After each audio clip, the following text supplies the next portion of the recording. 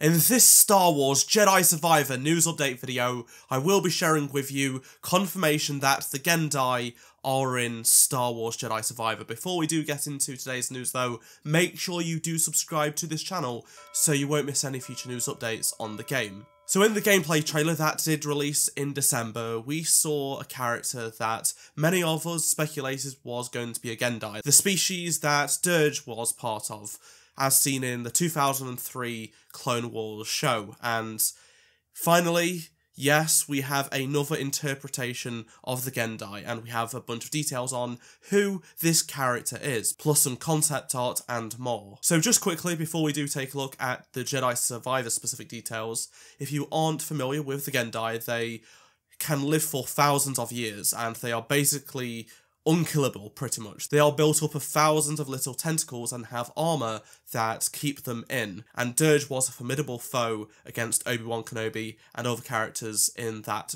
Clone Wars show. Respawn has continued to supply IGN with exclusive details about Jedi Survivor, and this is what they had to say.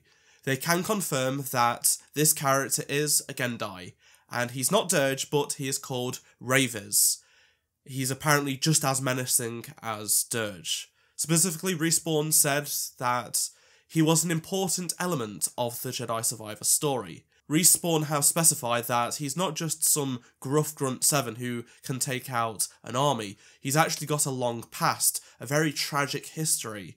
He could be a thousand years old, he has seen empires rise and fall, plus the Jedi rise and fall, plus how the Empire has risen, and he knows how to exploit the weaknesses of his foes. Respawn go on to say that there are a lot of interesting parallels between Cal and Rayvis.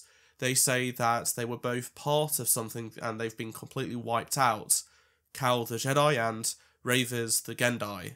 Cal has struggles and questions and tries to find his place, whilst Rayvis comes in a very different conflict with who he is and what he is and why he is doing what he is doing. And that conflict is very sparky. It allows them to have a lot of reflection on who they are, where they are at, and what they are doing. Speaking of their relation in the game, the Respawn team do say that a warrior knows a warrior, and even though they are very different in stature, there is mutual respect for that strength. They go on to say that from a visual perspective and a character to character perspective, Gendai are just fun because, well, what do you do to them, right? Oh, I'm a powerful Jedi with a lightsaber, I'm gonna slash you. It does nothing. The dialogue of the violet construct of this galaxy is completely different with this character. And specifically regarding Rayvis and the Gendai, Respawn say that we're all heroes in our own story, and Rayvis is the hero in his story. He doesn't perceive himself as a bad guy, he is a chivalrous knight in his own world, which is something that you can respect in a time period where people are uncertain of the next day, let alone the next year. He kind of walks through it confidently and proud, and there is something really mystical about that.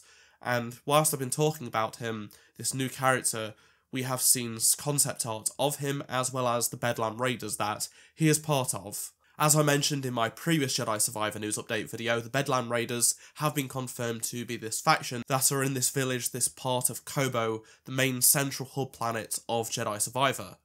All of this is so vague though, because how does this even relate to what we know about Cal and from Jedi Fallen Order?